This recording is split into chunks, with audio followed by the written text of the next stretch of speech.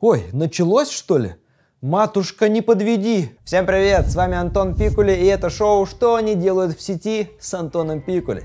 Загадка. Что общего у бобров и налогов простых россиян? Все это с жадностью пожирает Маргарита Симоньян. Циничная глава русской пропаганды. А если точнее, глава пропагандистского канала Russia Today. Приведите мне один пример лжи на Russia Today. Один пример конкретный. Right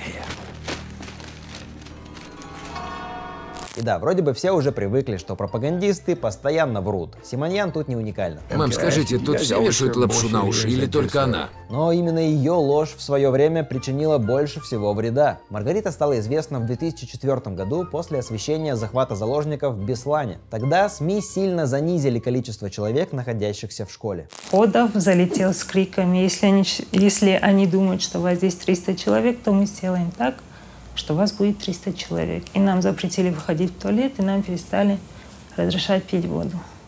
Вранье штаба про количество заложников реально не разозлило. Знаю, штаба кого, и просто то, что это СМИ передали, да. Угу. Это их разозлило, это их ожесточил. Симоньян, скажи 300. 300. Молодец, получи работу у фашиста. Да, после того, как она наглядно показала, что готова делать и говорить все, что ей скажут сверху, ее назначили главой целого телеканала всего в 25 лет. Ого, возглавила пропагандистскую помойку в 25 лет?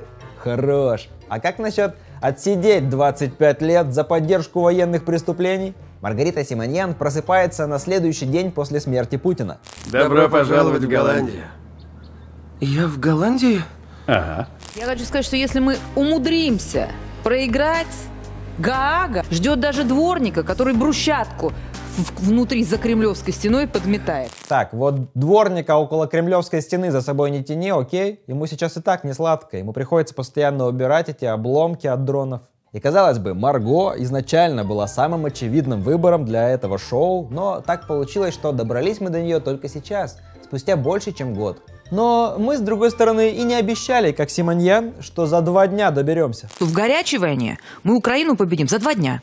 Чего ее побеждать-то, господи, ну Украина. Several months later. Молитва о восстановлении мира. О, а что это ты, Симоньян? После множества лет разжигания ненависти к Украине и запудривания мозгов россиян пропагандой, из-за которой десятки тысяч из них умерли на войне, заговорила о мире и доброте? Доброту ищешь? Иди в церковь. Мы Украину победим за два дня. Several months later. Пожалуйста, если не знаете точно, что происходит в Белгородской области, не пишите о том, что происходит в Белгородской области или где-либо еще. Первое правило кремлевской пропаганды. Не рассказывай о том, что происходит в Белгородской области. Второе правило кремлевской пропаганды. Не рассказывай о том, что происходит в Белгородской области. Мы работаем в дерьме, чтобы купить дерьмо нам ненужное. В общем, цитируя Киру Ярмыш, каждый раз, когда я думаю, что Симоньян исчерпала лимит отвращения, которое я могу чувствовать к другому человеку, она пишет новый твит.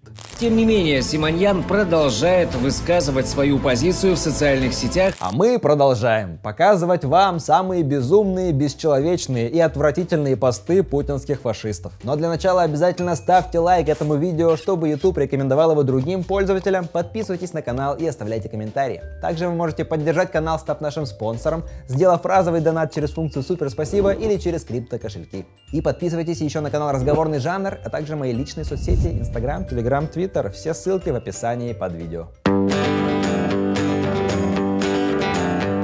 Ты думаешь, что пишешь в сети, ведь так будет легче найти Твой дом, твой счет, твой грех, твой бред, твой главный секрет Это сейчас Симоньян молится о восстановлении мира. А вот до 24 февраля она несколько месяцев все никак не могла дождаться, чтобы наконец началось. Пост от 9 декабря 2021 года. Началось что ли? Матушка, не подведи! Матушка Путина так уже подвела, он ведь появился на свет и развязал войну. Пост от 12 февраля 2022 года. Началось? Пост от 18 февраля 2022 года. А вот теперь, похоже, началось. Ты можешь перестать говорить «началось» хоть на пять минут? Итак, началось. Началось бесконечное смакование и предвкушение будущего вторжения в самых омерзительных формулировках. Слитый список американских ататашечек. Воспоследующих, если мы вдруг отмиротворим Украину, прямо расстраивает. Отмиротворим Украину? Господи, Смотрите, что ваших миротворцев не отукраинили. Выходит, если бы у нас были свои стиральные машины, холодильники и смартфоны, то мы могли бы легкой прогулкой прямо сейчас освободить Донбасс, да и Одессой не побрезговать. Давай, Морти, легкая прогулка до Одессы, туда и обратно. Зашли и вышли приключения на 20 минут. Отсюда вопрос. Сколько нужно времени России-матушке, чтобы наладить собственную стиральную машинку, если собственную подводную лодку Россия-матушка наладила еще при Николае Батюшке? А, так вот зачем. Вздек пришла родная моя, от мужа машинка стиральная. Российские солдаты воровали стиральные машины, потому что Россия-матушка собственную стиральную машинку не наладила. Зато собственная подводная лодка действительно есть. Крейсер Москва называется. Крейсер Москва был на год старше меня. Да у вас вообще много общего. Он тоже достиг дна, например. Но вернемся к предвкушению войны Симоньян. Олимпиада 2008. Освобождение Южной Осетии и Абхазии. Олимпиада 2014. Возвращение Крыма. Олимпиада 2022. Впишите правильный ответ. О, а это вообще очень интересная и показательная информация. Спасибо, Маргарита, что напомнили. Это буквально единственный случай нарушения так называемого олимпийского перемирия в истории. И за все три из них ответственен Владимир Путин, которого никогда не волновали никакие международные нормы и правила, а только его имперские амбиции. Владимир Владимирович, остались ли понятия чести, достоинства в политике? Что касается таких понятий, как честь, достоинство, любовь, честность, это все-таки э, то, что лежит в основе отношений между людьми а я рептилоид. Итак, после того, как все-таки началось, продолжились офигительные прогнозы от военной экспертки, а заодно и преступницы. Вот она, например, спрашивает у украинцев 24 февраля 2022 года, а зачем сопротивляться, если победить заведомо не получится? И значительная часть собственного населения печет для оккупантов пироги. Эти домашние пироги выглядят очень аппетитно. Они не домашние, их сделали на фабрике. На фабрике бомб! Это бомбы. А, очень жаль. Да, Довольно много постов, которые писала Марго в самом начале войны, очень плохо состарились на сегодняшний день, э, прямо как Путин. А некоторые посты состарились уже в момент написания. Российские вооруженные силы никаких ударов по жилым кварталам украинской столицы наносить не будут, заявили в Минобороны России. Это то, что лично я хотела услышать. Моя армия не будет бомбить мирных людей. Спасибо, родненькие, берегите себя. Уже тогда, 25 февраля, ей в реплаях накидали десятки фотографий разрушенных жилых домов и взорванных квартир далеко не только в Киеве. А сейчас речь идет не просто о домах, а о целых городах, стертых с лица земли российскими войсками. Вам же объяснили, никто не трогает мирное население, не бомбит мирное население, не расстреливает мирное население, делает все для того, чтобы это мирное население не пострадало. Если бы это было не так, я бы, например, здесь сейчас не сидела и не стояла в этой студии. Я слегка приврала. Или не слегка. Почему она постоянно пишет этот апостроф вместо твердого знака? У нее что там, лимит на использование твердых знаков? Или у нее клавиша с твердым знаком выпала из клавиатуры. А вот твит об убийстве российской ракетой 27 человек, среди которых были три маленьких ребенка. Спросила у Министерства обороны, куда ударили в Виннице. Ответ – в Дом офицеров. Там был временный пункт размещения нациков. И фото прислали. Публикую, как прислано. А фото оторванной ноги рядом с детской коляской не хочешь опубликовать? Или тебе его не прислали просто? Наверняка прислали. Только, опять же, в реплаях. С 1 сентября в школах Николаева запрещено изучать русский язык. Значит, надо брать Николаев до 1 сентября. Но до 1 сентября ничего взять не получилось, так что решили действовать проверенными методами, и 1 ноября российские ракеты разрушили Николаевский колледж и гимназию. Но есть нюанс, в разрушенных школах тоже не изучают русский язык. Тот неловкий момент, когда сначала освещаешь захват школы террористами с озабоченным лицом, а через 20 лет террористы, на которых ты работаешь, бомбят школы в соседней стране и убивают детей. Ну так, значит так. Значит, такая судьба. Что поделать? Вообще, из постов, в которых Симоньян радуется бомбежкам и убийствам мирных людей, можно отдельное видео сделать, настолько их много. Вот что пишет Симоньян про массированные обстрелы Украины 10 октября во время утреннего часа пик, когда ракеты попали в университеты, музеи, пешеходный мост, а также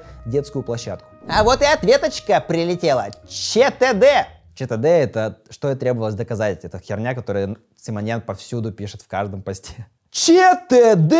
Так все-таки получается наоборот. Кремль делает все для того, чтобы мирное население пострадало? Не может быть.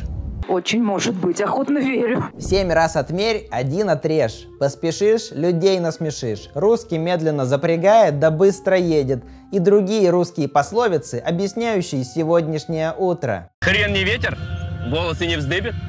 Все в свой срок. Придет времечко, вырастет и семечко. Делу время, потехи час. Время всему научит и другие русские пословицы, объясняющие, что скоро Симоньян будет гнить в тюрьме. Кстати, об этом и многом другом из этого выпуска я уже шутил у себя в телеграм-канале Пикули. Подписывайтесь на него по ссылке в описании, я там все гораздо актуальнее обозреваю. Симоньян, смотри, вот такая еще пословица есть. Сколько веревочка не вейся, а совьешься ты в петлю. И другие русские пословицы, объясняющие сегодняшнее утро. Люблю кровавую резню по утрам. Но наивно думать, что людоедство Симоньян заканчивается исключительно на Украине. А вообще, пора уже вежливым людям навести порядок, конечно, как они умеют. Это, если что, про митинги в Беларуси в 2020 году. Видимо, пыток и избиений белорусов ей было недостаточно. Крови почти нет. Бей сильнее. Какая ты кровожадная дорогая. И да, кровожадное не то слово. Протестующие в Тбилиси кричат «Сухуми! Сухуми!». Собственно, изначально было ясно, что весь этот шухер нужен исключительно для открытия второго фронта для нас. В случае повторения августа 2008 с Грузией никто цацкаться не будет и войска туда посылать не будет, а просто шарахнут сразу под Тбилиси, особо не разбирая, хотя бы потому, что а. Не до сантиментов сейчас. Б. В Тбилиси нет Киева-Печерской лавры. В. Никто у нас никогда не считал и не считает себя одним народом с грузинами, и Российская Федерация никогда не была Тбилисской Русью. Так что зря вот это все затеяли. Пожалели бы красивый город и темпераментных его жителей, раз уж они сами себя не жалеют. Ну что, совсем что ли? Ничего необычного. Просто глава одного из крупнейших российских каналов напрямую угрожает Грузии геноцидом и, судя по всему, ядерным ударом. А с украинцами это они еще типа сдерживаются из-за Киева-Печерской лавры. Ты ну, не будешь просто так, чтобы отомстить, как какой-то символический показательный удар, бомбить город, прекрасный, красивый город, в котором есть Киево-Печорская лавра, в конце концов. То есть это типа мы бы вас разбомбили, если бы не Киево-Печерская лавра. А то иначе как-то не по-христиански получается. Хотя в реальности даже она никого не останавливает. Киев бомбят постоянно. Очень по-христиански, очень православно. Вообще, Марго очень любит угрожать всем ядеркой и бомбежками. По каким еще врагам России ударят наши ВКС? Может быть, Воронеж? Естественно. Хотела бы я посмотреть на страну, которая по решению Гааги арестует Путина минут через восемь. Или сколько там составит подлетное время до ее столицы? План простой. Путин приезжает в страну, его арестовывают, мы бомбим столицу этой страны вместе с самим Путиным, что? А уж уничтожить Америку Симоньян угрожает чуть ли не каждый месяц. Мы единственная страна в мире, которая может полностью уничтожить Соединенные Штаты. Правда, правда, правда. Вот самое невероятное, что в конце концов все это закончится ядерным ударом, мне представляется все же более вероятным, чем вот такое развитие событий. К ужасу моему, с одной стороны, с другой стороны, к пониманию, что, ну что, значит так. Знаешь, меня... Но мы-то в рай. Да. А если точнее... Прямо в ад, в бойлерную ада, на самое дно. А в перерывах между угрозами убийства тысячи американцев можно посмеяться над уже убитыми. Из нашего продюсерского чата. Церемония инаугурации нового правительства Афганистана назначена на 11 сентября. Талибы умеют не только в мемы, но и в троллинг. Ну типа, Мемы, троллинг. Три тысячи человек погибло. Так смешно, на самом деле. Так, э, какие там еще неправильные с точки зрения Маргариты страны, на которые нужно повлиять? Ну, Казахстан, тоже протесты были в начале прошлого года. Скинуть бомбу туда, как с Грузией, она, конечно, не предлагает, но предлагает другие методы. Подкуп, шантаж, угроза убийством. Вот это нехорошо, конечно, но, к сожалению, иногда приходится и такие вот использовать методы. А именно шантажировать правительство Казахстана. Конечно, надо помочь. Обязательно надо помочь. Но и некоторые условия надо поставить. Первое. Крым признать. Второе. Кириллицу вернуть. Третье. Русский язык второй государственный, как в Киргизии. Четвертое. Оставить в покое русские школы и не врать начальнику, что и так так. Пятое. Выгнать антироссийские НКО. Шестое. Внятная братская внутренняя политика, исключающая игры с нациками. Ибо неча. Казахстан, услышав эти обосранные условия Симоньян. А жареных гвоздей не хочешь? Я спросил, жареных гвоздей не хочешь? Нет? Дальше Германия. Немецкий народ-то 94% против, как нам сообщает немецкое же радио. Это значит, руководство немецкого народа такое. Это значит, что немецкий народ снова взяли в тиски фашисты. И не надо ли нам немецкий народ от этих фашистов освободить? Ну, то есть, понимаете, дело не в Украине как таковой, и уж точно не в отстаивании национальных интересов. Дело вот в этих людях, типа Симоньян. Все пропутинские говноеды такие. Мы абсолютное зло. Совершенно верно. Именно И Путин особенно. Людоеды и ксенофобы, которые окончательно прогнили изнутри от власти и денег, знающие только язык ненависти и ракет. Этих разбомбим, туда вторгнемся. Была бы возможность, а поводы найдутся. Ну, вы видели, они придумываются на ходу. То в Грузии народ не тот, то в Германии что-то... Значит, не будет Румынии. Значит, по Румынии должен быть нанесен удар тактическим ядерным оружием. Почему-то они думают, что имеют право решать, кому и как жить, но по факту это просто кучка жалких фашистов, которые мешают жить всем нормальным людям. Кстати говоря, о жалком фашисте, о Путине, точнее о начальнике, ведь именно так Симоньян называет деда, и в соцсетях, и в шоу «Международная пилорама», которое пишет сценарий. На встрече начальника с военкорами в воздухе витали ароматы боевого настроя и западного отстоя. Чё за хэ? Ароматы западного отстоя? А может ароматы чемоданного изгоя? Вообще, конечно, авторский почерк Маргариты виден сразу. Ароматы западного отстоя. Маргарита, тебе 9? Тебе 9 лет дадут в тюрьме за это. Талант. Да, талант. Под конец начальник не упустил возможности заставить сжаться европейские сфинктеры. Жаль только свой собственный он сжать не сможет, ведь там находится язык Маргариты Симоньян. Кто там готовит справки для начальника? Передайте, пожалуй, что исчерпывающее количество московских грузин пьет сегодня за его здоровье. Открываю ленту сообщений, а там куча тостов от моих друзей-грузин, общий смысл которых ВВП красавчик. Подожди. Это те же грузины, которых ты призывала бомбить, не разбираясь и не цацкаясь, или какие-то другие? А иногда Путин у нее даже не начальник, а целый вождь. Раньше он был просто наш президент, и его можно было поменять. А теперь он наш вождь, и поменять его мы не дадим. Я тут разглядывал старые снимки и обнаружил сходство с твоими.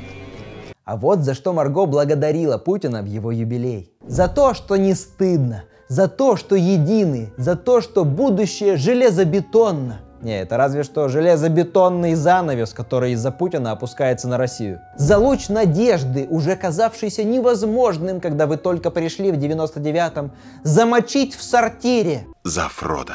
За чеченские батальоны, спасающие русских бабушек, за мюнхенскую речь, за сияющие дворцы и меретинки. За сияющие дворцы, которые больше не нужно декларировать. За Крымский мост. Иронично, что в этот же день Крымский мост подорвали. Маргарита, пожалуйста, в следующий раз поблагодарите Путина за то, что он до сих пор на свободе. За чеховский домик в Гурзуфе, за хлеб, который больше не нужно ввозить, за сохранность нормальности, за то, что, что сын это сын, а мать это мать, а отец погиб на войне. Спасибо за сохранность нормальности, за ясность, за точность цели.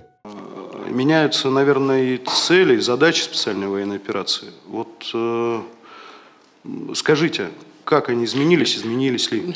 Давайте сначала послушаем, что сказал Путин. Он, конечно, не сказал «да» и не отвечал прямо на этот вопрос. Давайте. Нет, ну, а они меняются в, в соответствии с текущей ситуацией, но в целом, конечно, ничего мы менять не будем, и э, они для нас носят фундаментальный характер.